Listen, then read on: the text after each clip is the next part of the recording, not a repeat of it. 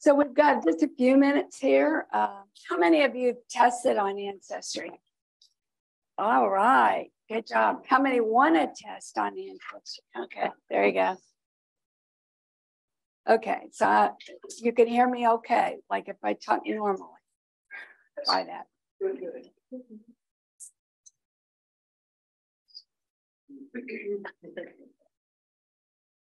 So any questions while I'm waiting for the time to start at one o'clock? Don't mind taking questions you might have. Ancestry has a sale on right now. I'm not sure exactly when it's going to expire, but it's uh I think $59. So that's not a bad deal right now. How long is it? You know how long that is that like one year's use on ancestry or what's the? Uh, it's not anything to do with ancestry's uh, documents. It's only your DNA test it covers. It gives you access to your DNA results and a few of the tools and so forth. That's right. How much is that right Um, I think I saw an ad for it. It's like fifty-nine dollars. Okay. Yeah, I don't know when it expires, so they do kind of expire, but it'll get you started. They do stuff around the holidays all the time. That's true, but they're early this year. Uh, people haven't been testing. So I, there was, um, I think MyHeritage, I think it was until the eleventh. Let's see, what is today? The twelfth? So I think it expired yesterday, but it was like thirty-nine dollars. I have never seen MyHeritage at thirty-nine dollars. So, And when did you see that on MyHeritage? What? uh, yes, it expired yesterday. Oh. So, but I think ancestry, was- Yeah, I hear you. But she- yeah, go ahead. Question. I have the email and it says the fifty-nine dollars ends September fourth at midnight Eastern. No, this year's, so September fourth? that's the last email I had of an offer, because I thought, oh, I'll look it up, because I get those emails all the time. Yeah, That's the most recent email I have. huh, They'll do stuff around Christmas. yeah. Yeah. And, and they do that Black Friday thing too. That's what's going on right now. Okay, it's time. Okay, I hope when you leave a class today, you will say that you understand why you should use Ancestry. It should be a tool in your toolbox. Now, I want to clarify, I am an obsessive DNA person. I test, I do classes, I do all kinds of different things constantly. I do not get paid for it. I am not an ancestry paid promoter. But I do know that certain companies everyone should be in, and this is one. So I'm going to give you my presentation and hopefully I've convinced you. Okay, too far away. Good, Okay. All right. Number one reason, more people test on Ancestry than any other company, 22 million people. Now, to give you a kind of an idea of what that relates to, the last time I looked, I had about 58,000 matches. Now, I don't know about you, but there's no way I'm running 58,000 matches down to the how they match me, right? So it's the largest company of family trees. And if I've learned anything in doing DNA, is that you have to have a family tree. And you need to, you can make a free tree on Ancestry. So even if you just know, say, your parents, grandparents, and great grandparents, put them on that tree, link your DNA to you, um, because that's the only way you're you're going to be able to get the full advantage of ancestry. so it does require a DNA test. It does require a family tree, and it does require you linking your DNA to that family tree. That's important. It is easy to use. It really, it truly is easy to use. They offer a variety of tools to help you. They I don't think I did. that. Did I do that? Whoa, okay, now my ears are ringing. Hopefully you guys are still okay. Marty, while, while you recover, my wife just found her latest message said that fifty-nine dollars was good through November twenty-third. Thank you. November twenty-third. Okay, I'm gonna be cautiously going forward. Okay, um, they have ThruLines, cluster. Am I too loud? Yes. Yeah. Maybe, I don't, didn't have a problem. I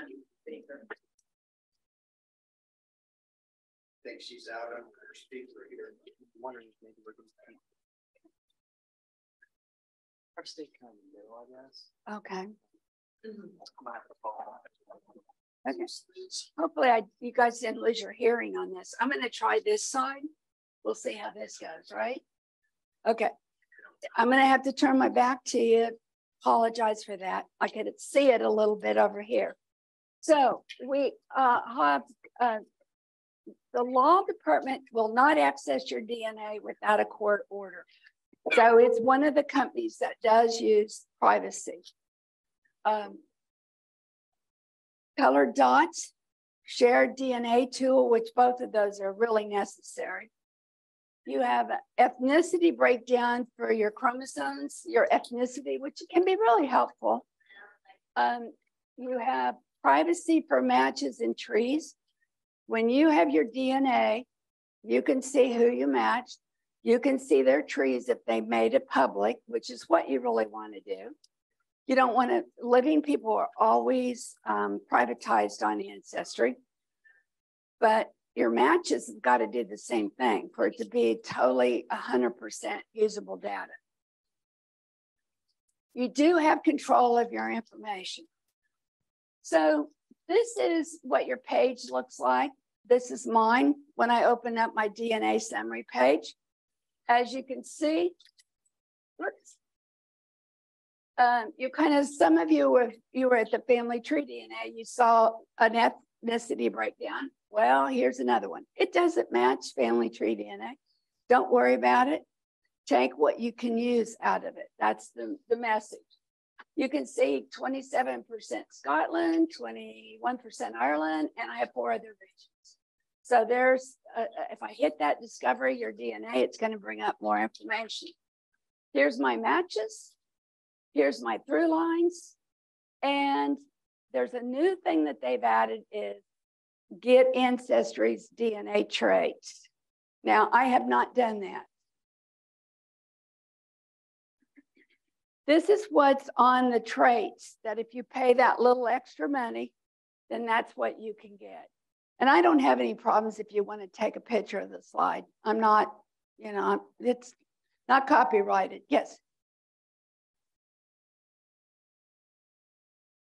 Online or anything? Um, all you have to do is sign on, make a free Ancestry account uh, at Ancestry. You don't have to do a tree or anything else. You can get all this information. Okay. Yep. Just answer it, ancestry.com. Yep. All right, so those are the tests that they're doing under the Ancestry DNA test. Now, this was a sale they had. You can see it's expired. I didn't even take advantage of it at $10. I really don't want to know whether I have the correct nutrients, endurance, fitness. I'm in my getting close to my eighth year, 80. so I don't need to know all that. So if I was younger, maybe it would be something I'd be in. All right, so Ancestry has what they call a learning hub, and that's something everybody can take advantage of. Make a free account, go on, and you go to the Ancestry DNA Learning Hub. You will see uh, webinars. You will see um, papers that tells you how to do things. Um, just about everything possible. Um, multiple videos, multiple articles on DNA. So th this is a learning tool for you to learn about ancestry.com before you test. All right, the important thing when you decide to go ahead and do your DNA, and even as you're starting this free account, you want to set up your DNA profile or your profile on Ancestry. Um, so you have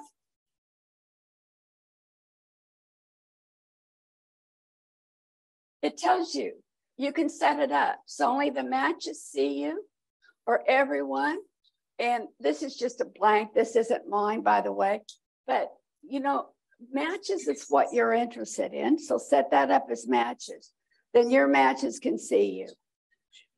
Here is how to get notification. You have to su- subscribe, give them permission to contact you, whether it's by email or what.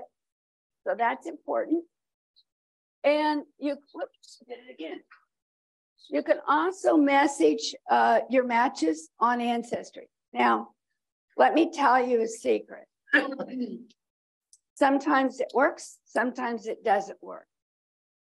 Mostly, I think, because people don't know where to go to look for the message that's coming in from somebody. So they never check it. It's not like it's like comes out in a bright light and says you got a message. And I think some people, because of that, don't respond. But if you get on Ancestry DNA, check your messages every time you get on and answer. You know, that's the only way we can really help each other to go the extra step. All right, so remember, this is an uh, estimate of my ethnicity. So it says that I'm Scottish, Irish, German, English, Sweden, and Denmark, and Norway. Uh, I got a little bit of everything. But what does it mean? This is something you can use because they give you community groups. These community groups say they're not exactly matches, but they say that a lot of your DNA matches come from this area. Now, when you set up that profile, I have like Kansas on my profile. So that when people look at my profile, they're seeing Kansas. So they know that I'm from the Midwest. So people from this area in the Midwest may contact me because we may have a link through this group. This is a cluster group. So you can see there is a link here that tells you how the DNA communities work. So it's telling me I connect to five DNAs or DNA communities. And there's a little more information when you use the arrows to drop down. Here's one that I dropped down for you to see. So this is Illinois, Indiana, Missouri, a little bit of Kentucky uh, in this area. And it says that it's called the Delaware Valley Chesapeake Midwest Settlers. And you can move this timeline to see when your ancestors come into this area.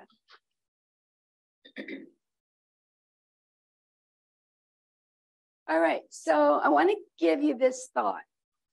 The breakdown of your DNA by parent one and two. That's the newest thing that Ancestry's given us. So, do you have a parent that's tested? Can you get a parent to test? Do you have an aunt or uncle that's like, say, in their 90s that could test? You know, any of those older generations is going to help you. But if not, all's not lost. And the question is how accurate? And I say depends because that is true. It depends on what you know about your family. What if you have a non paternal event somewhere back second, third great grandparents? You're not going to know that. So it might look odd. Is it hard if you have no parents to test? No, it's not.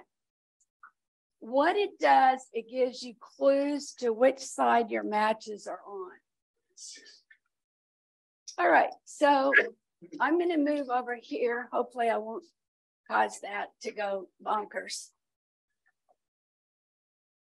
Now, I happen to figure out a variety of ways to figure out what was my paternal and maternal side. You can see I'm a, on the right, um, a little bit of everything of those two. But take a look at the breakdown as in a chart, paternal, maternal, and me, okay? So from Scottish, my paternal ancestor gave me 15, and my mother's side gave me 12. So that's where the 27 comes from. So let's go down to Germany, because that was one of the ways I could determine which was parental one and two, what they were. All right, Germany, my mom doesn't have any. My my dad's side has. Now with the paperwork, I, I can verify that. So I'm thinking, okay, that's clue one. That means this is my paternal side. Can I gather anything else from it? As you can see, Ireland and Scotland are not going to be a clear cut one way or the other.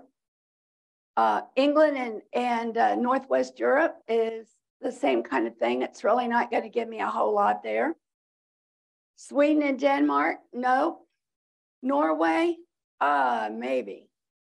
And the reason I know maybe is I did living DNA, and a few months ago, they offered what's called the Viking DNA test.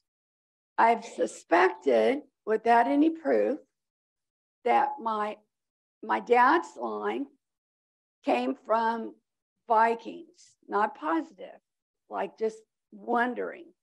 So I put his DNA over on Living DNA and paid a little extra to have him have them run the Viking DNA.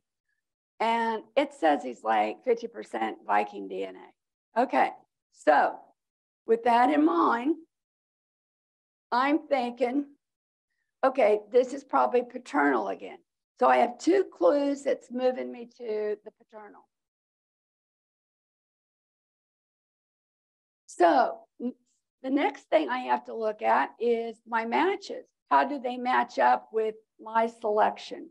Because I do select whether it's maternal or paternal. Right here, you see where it says edit parent?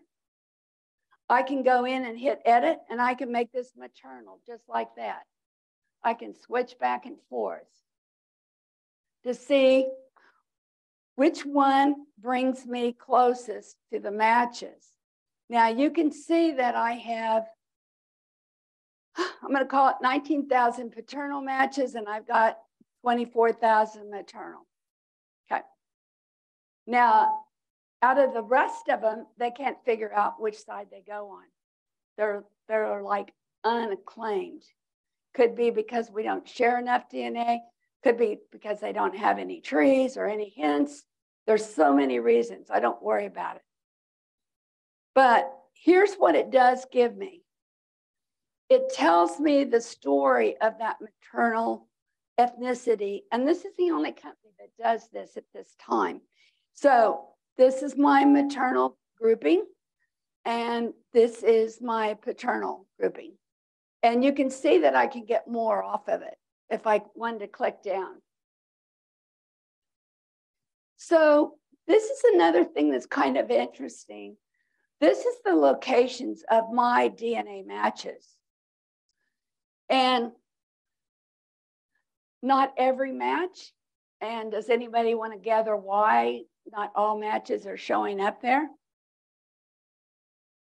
What did I tell you you had to do on your profile page? You have to pick a place that you're from. I did Kansas, right? So if you are a tester, you want to put the state you're from. You don't need to put the city, but the state will do. Or maybe let's say you know you were born in uh, Illinois, let's say, then you would want to put Illinois perhaps. Yes. Um, I've basically been a Kansas girl for way too many years. I would put my location at the present time, unless it's really unusual. In other words, if I just moved here like a year ago and I've been, you know, was born and raised in Illinois, I probably would put Illinois. So you have that's going to have to be a decision for you. All right, this is another thing that's kind of interesting. This site alone is going to help me do something no other site has been able to help me do yet. but there's another step to this. What I did was, and you remember I had both of my parents that had Scottish ancestors. So I know, I need to know, is there any additional information that I can get from that fact? So if you look here, this is the maternal. So on chromosome three, it's showing the bottom half of chromosome three all the way across as being Scottish. Okay. So if I use DNA Painter, um, even um, I think DNA Painter is probably the best place to go with this information. I can designate, I can do an ethnicity chart for my DNA. And I can take that chromosome three, the start and the ending of it, and plug it into DNA Painter and mark my maternal as Scottish at chromosome three. Now, why would that be useful? Well, let's say that you and I mm, both have Scottish ancestry. We are DNA matched. And your ethnicity says, hey, my maternal line's from Scotland too at that same chromosome level. Let's compare. So we might be able to, to use that as additional research tool. Now, at the same time, I want you to take a look at my paternal. I had Scottish there. Do you see any Scottish on number three? No. My long line of Scottish ancestry on my maternal line comes on chromosome two. So now I have two chromosomes from two separate parents. One on chromosome two is Scottish, that's from paternal, and on the maternal on chromosome three. But here's where it gets dicey. If you take a look at chromosome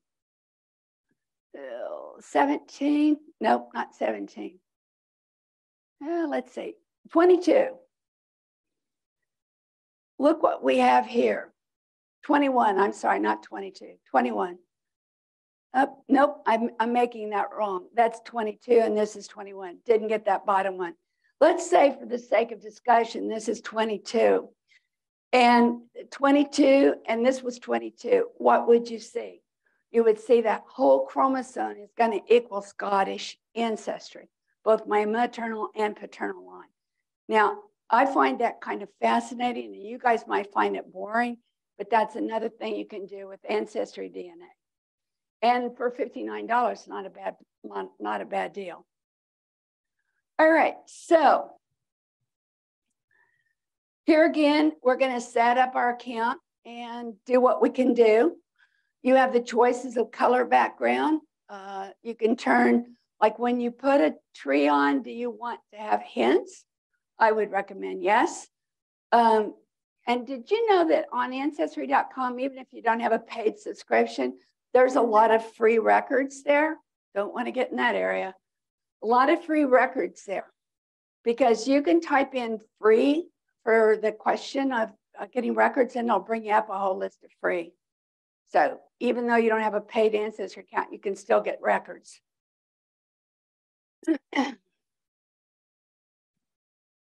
So here's the things that you need to do to complete your profile.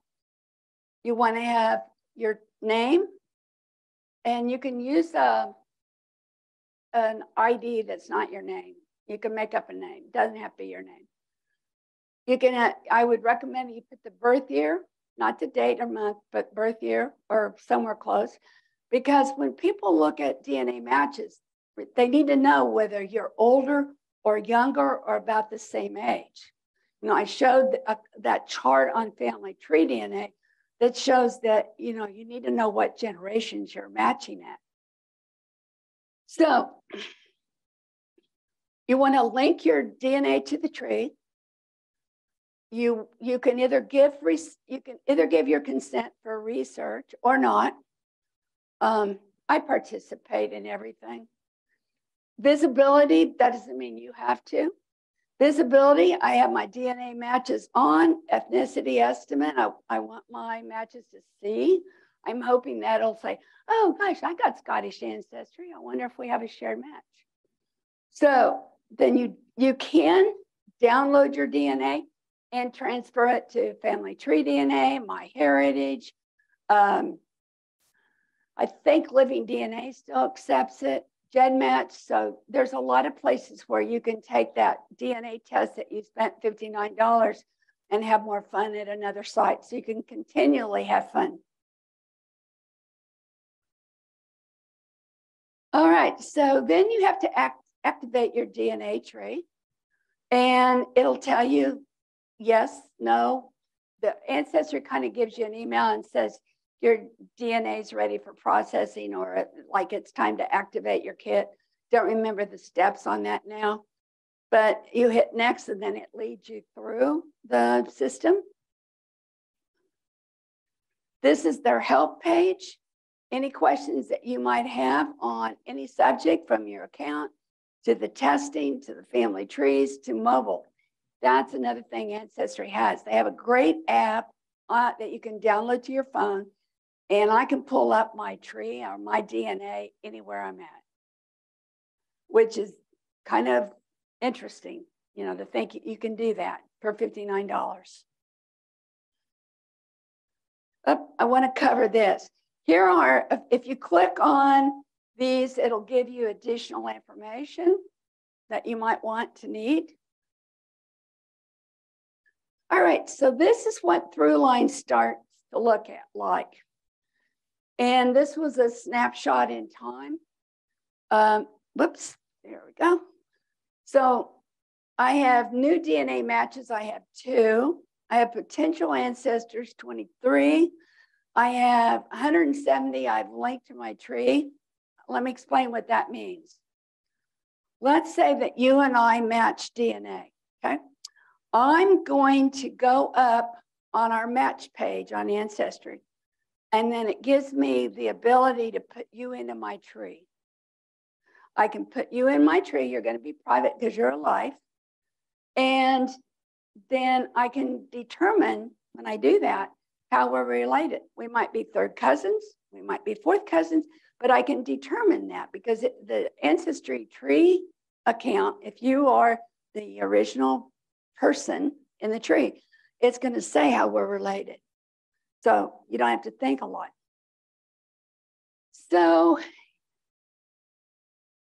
you can see that I have a breakdown here. Now these folks are unusual. These are prime DNA candidates because one, They've taken their test, they have a tree, they've linked the, their DNA to the tree, just like I have. And Ancestry goes out and searches all that information and brings us together into ThruLines. This is what ThruLines looks like. And this is what is good and bad about ThruLines. So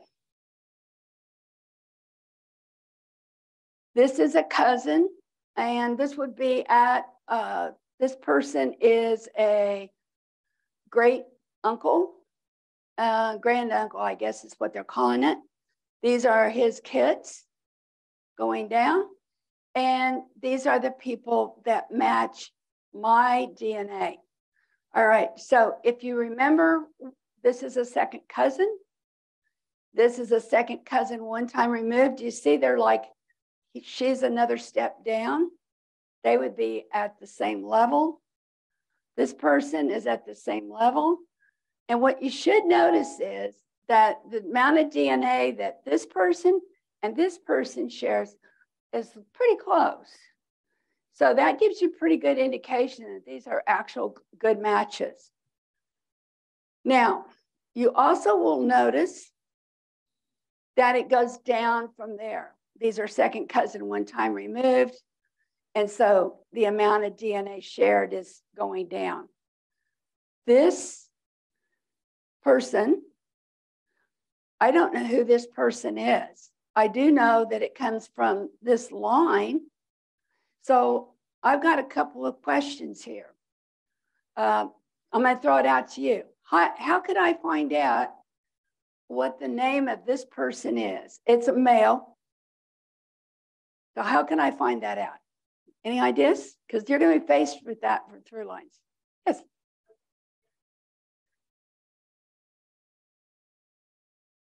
Good idea, because it would be one of her children. Yeah, that would be one of her children. Can I find out that information? How could I find that out? Where could I look for that? Because obviously she's living.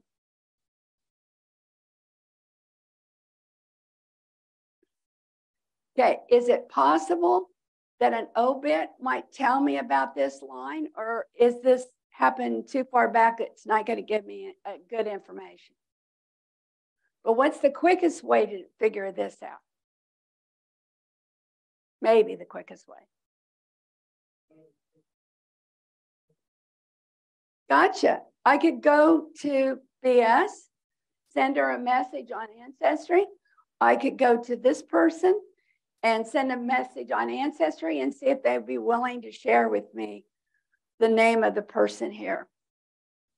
There's also this evaluation, and that can be important clues. So you go look at that, and, and it'll give you what it does. It gives you a multiple amount of family trees that have similar information.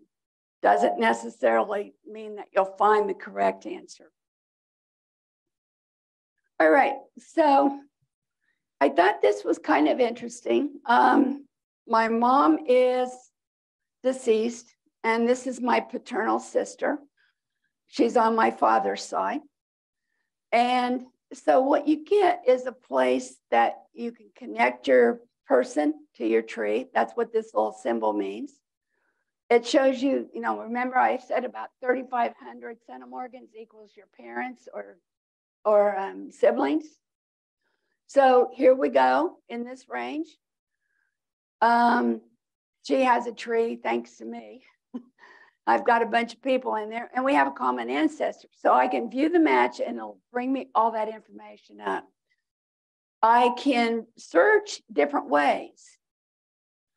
I can click on her and go shared matches and it'll bring me up a list of people that we share DNA together shared DNA. That's an important tool to use. Same thing, I'm lucky that I have a paternal sister that's a half sister because I can use her to find my um, paternal side. So it's important to, to, it's really beneficial to have half siblings. If you have half siblings, get them to test because they'll help you sort out all the rest of the DNA. All right, so here's her tree. And you can see that what we have in common is my mother, which I think is kind of cool. But so what we're looking here at is this is a view of the common ancestor. The screen allows us to do shared matches right here. If I hit that, it's going to bring up all the people in my database that share DNA with my mom. So those are going to be primary people that I can identify as being on my mother's side. I can make notes. I know that somewhere around the seventh or eighth great grandparent, or maybe father back, that there is one ancestor that my mom and my dad shared. It's showing up with now I'm up to about three or four matches that share both with my dad's side and my mom's side. And I just haven't pinpointed the, um, I've got a pretty good idea, but I, I can't say that I've got it pinned down to a particular chromosome. But that's what I'm working on. I can use the dot grouping. I can add to my tree. I can view in my tree and I can add notes. Okay, this is what the dots look like. So let's say I was going to do a shared match with my mom. She's my maternal line. So I might want to pick pink. And then with dots, I could code everybody that matches my mom and I in pink. And that would tell me at a glance that those are my maternal matches. So you guys can take a picture of this slide because it is things that I recommend for you. I'll get out of your way to, to use to develop your knowledge base.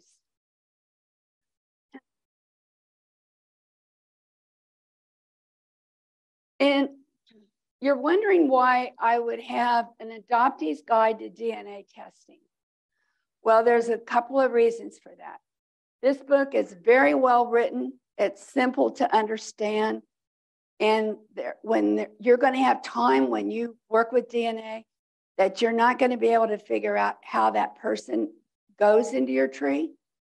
It could be a non-paternal event that you're not aware of. It could be a good match, but it just doesn't make sense how they fit. This book really helps you through all that. It is a very good book. You don't have to be adopted to enjoy that book.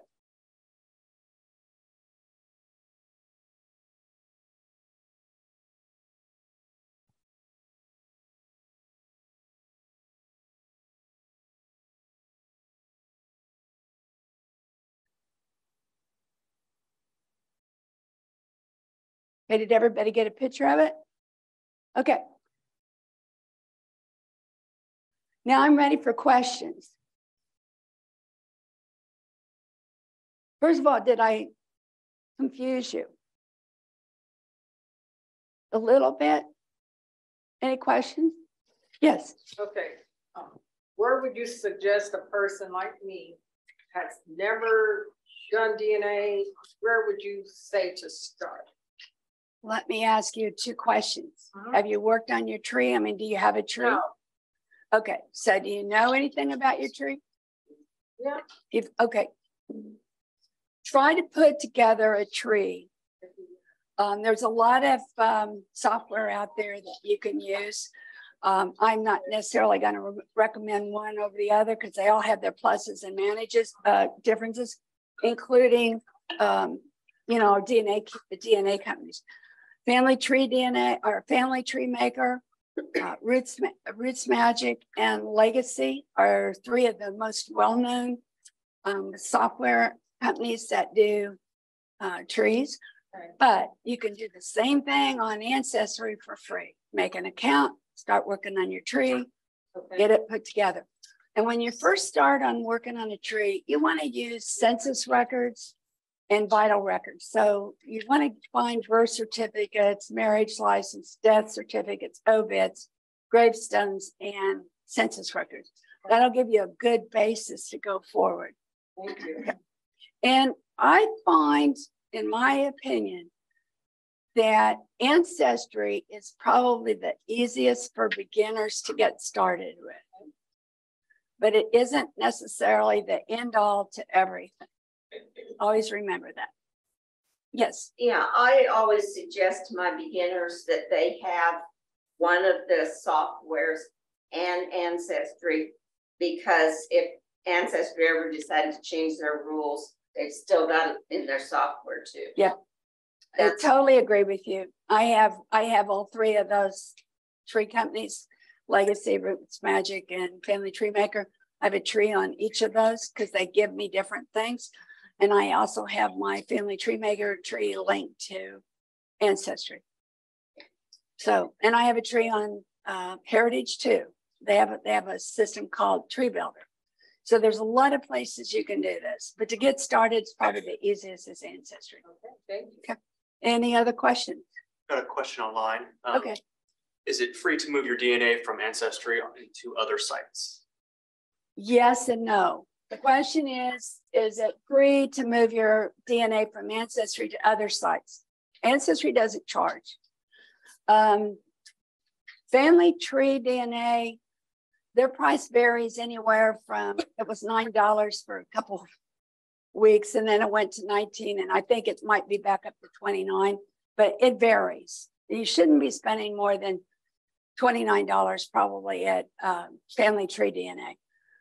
MyHeritage has, it does offer uh, the ability to do that. There is a, I don't honestly know what the cost is right now.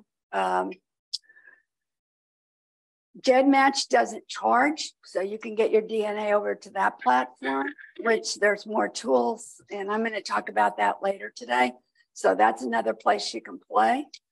Uh, you cannot transfer your ancestry DNA to 23andMe. Those are both standalone companies that you have to test individually, and they each offer pros and cons. Okay. Any other questions? Yes. It seems that you're mixing DNA with your family tree. Is that what you're saying? Yeah, you got to link. See, your DNA is your bio family. Understand that. Okay, so your family tree has to represent what your DNA is representing.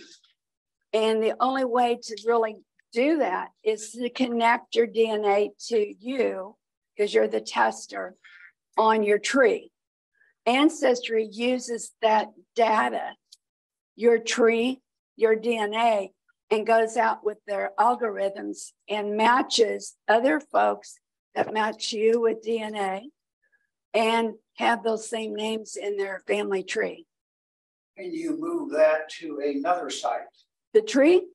Yes. Yeah, you can download your ancestry tree and you want to use it as a GEDCOM. And then yes, you can, you want to do by GEDCOM. So you download the ancestry tree to a GEDCOM and then you can transfer that tree to another site. Are the formatting, is the formatting the same then? It's different, but the GEDCOM is like the universal language to move trees. Yes. JCOM. J, G E D. Oh, G E D C O M. It's G E D C O M, GEDCOM. It's a standard term to describe moving a tree data to another site or downloading it to your computer. I just wanted you to explain because You not, Never heard of that term. Glad you asked. everybody in the room would know what you were Th- talking. Thank you very much for making me clarify that. Okay, where people also get confused is like you can download your DNA from Ancestry and it will be in a zip file. So if you're planning on moving that DNA somewhere else, don't unzip that zip file, leave it zipped.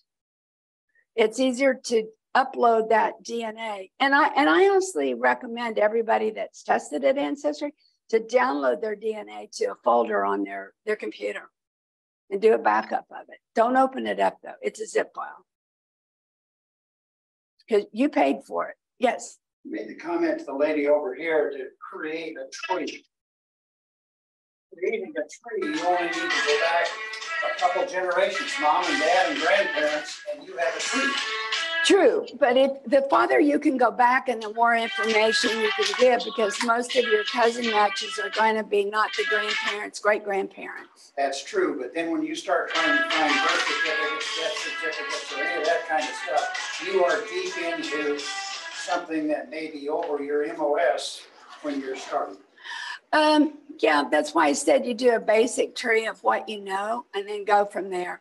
But um, it, if you have a, where it can get tricky is if you have a surname like Smith, you know, then that can be tricky to figure out if you got the right Smith. But I've been doing this for so long and I do it for other people. And I was, I worked on the reveal in 2020. We did, I did three of the, the folks that had their reveal done. And we didn't know anything about them and we put their trees together. The information's out there. It's just the skill of finding it. But again, remember that, that is up here, where this lady's saying she's starting here because she doesn't even have a tree. That's why I, I, my instructions to her was to get that free ancestry tree with what she knows. You know, and she said she knew her parents and grandparents, so she put that in there. And then the census records would start guiding her back. The census records can take you back about eighteen fifty. In some cases, there are exceptions to that.